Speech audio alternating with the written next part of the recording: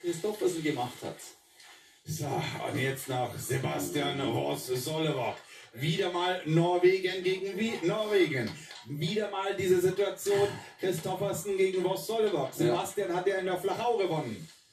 Ja, und wenn er so einen Lauf auspackt wie im zweiten Durchgang in der Flachau, da hat er ja auch einen riesen Vorsprung gehabt. Ja? Also mhm. bei dem ist alles zuzutrauen. Der kann jetzt auch mit der Sekundvorsprung unten enden, aber auch gleich draußen sein. Wenn er die Nerven hat. Ah, jetzt hat er sie. Er druckt. Der Ski läuft gut. Wir haben schon im Vorfeld gesagt, Pertl auf Vögel, er auf Vögel, Ross hat die Bestzeit gehabt, bis er ausgeschieden ist auf Vögel. Also der geht, der funktioniert, der Ski. Hält dagegen. Sind, hat nichts verloren und nichts dazu gewonnen. So ist jetzt der Mann, den ich leicht favorisiere in diesem Abteil, Abschnitt gegenüber Christoffersen. Baut 700 Laus. Ja, ja, ja, jetzt kommt es an, wie erwischt er das? Ja, ganz eng, da ist er einmal ausgerutscht, dann hat er das ganz clever rübergezogen. Wie viel Zug hat er drauf? Jetzt ein bisschen härter. Ich glaube, Christoffersen hat hier ein bisschen mehr Schwung mitgebracht. Aber er hat schau hin, 37, 37 immer noch. Sebastian Jawohl.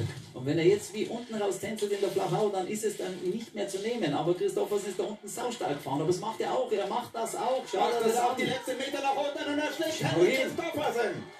Sebastian Voss Solevok für Henrik Christoffersen, Norwegen 1, Norwegen 2.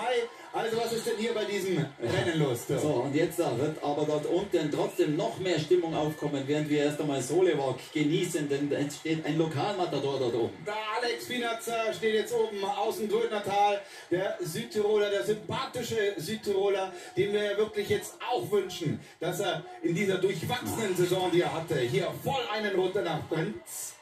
Solewok, der am Anfang der Saison reihenweise ja, ganz vorne dabei war nach dem ersten Durchgang, es nie runtergebracht hat, also den Sieg runtergebracht mhm. hat, den hat er immer auf der Schaufel gehabt, auf der Skischaufel. In Flachau ist es dann gelungen und seitdem glaubt er, dass er gewinnen kann und genau das hat er jetzt umgesetzt.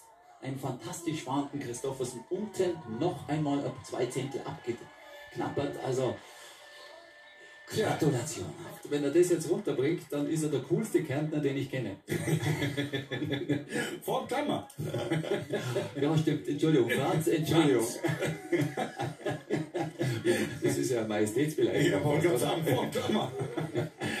So, Norwegen liegt sich in den Armen. Norwegen weiß, man hat relativ sicher zwei Medaillen im Sack. Aber jetzt Österreich Geschichte. Adrian vor dem größten Erfolg seiner Karriere. Kleiner Rutscher. Frech fahren. Im ersten Durchgang. Riskier als. Ja, er fährt ein bisschen, er, er, er hält ein bisschen zurück. Ganz leicht, aber nur ganz leicht. Was sagt die Zeit? Da zählt er jetzt, schau, 23 Hundertstel. Der sah so aus. Ja, ja, der, der fährt jetzt kontrolliert. Im ersten hat er alles, hat er hasardiert, jetzt fährt er es kontrolliert, er weiß, er kommt jetzt ins Flache. Jetzt geht's besser. Schau hin, da ist er ganz kurz durchgeschlängelt. Ja, nach der Kante ein bisschen hart gewesen. Also jeder Schwung muss jetzt sitzen. Wir haben nur 1600 zu Vorsprung. Jeder mhm. Schwung muss sitzen. Kein Fehler mehr erlaubt. Ah, schiebt den Innenski nach vorne. Schau mal, wie die Schaufel da nach vorne geht. Also er ist auf Angriff programmiert. Und es sind sieben Minuten, jetzt wird es ganz, ganz knapp vorne. Solewak ist unten stark gefahren. Wenn Solewak unten ganz ja, stark. Wenn er sprengt er das norwegische Double da vorne. Das kann er sprengen. Solewak. Außer er zaubert jetzt noch. Nein, nein, nein, nein, nein, nein, kommt zwar ins Ziel und es reicht nicht.